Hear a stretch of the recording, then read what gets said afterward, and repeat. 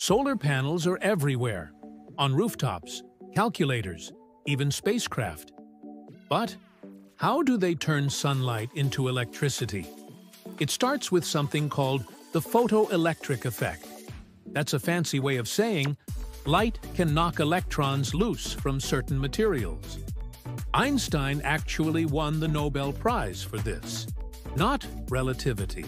Solar panels are made of thin slices of silicon, a super pure semiconductor. These slices are arranged in photovoltaic cells. Each cell has two layers. The top layer is mixed with phosphorus to add extra electrons, called N-type. The bottom layer is mixed with boron, creating holes that attract electrons, P-type. When sunlight hits the panel, photons, particles of light, smash into the silicon atoms and knock electrons loose. The built-in electric field between the two layers pushes the electrons toward metal contacts, which creates an electric current.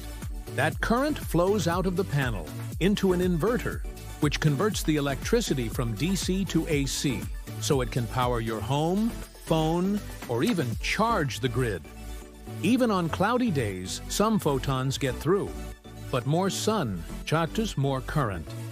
Typical residential solar panel produces around 300-400 watts, and you need several to cover a house's needs. Let us know below, and hit like if your brain just got a little brighter.